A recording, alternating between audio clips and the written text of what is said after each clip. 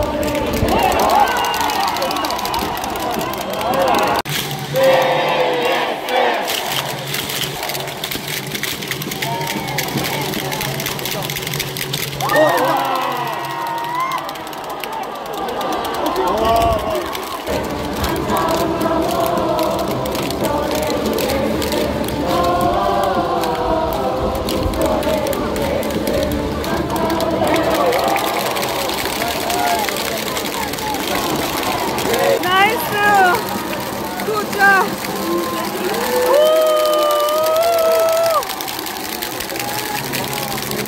우와, 대박.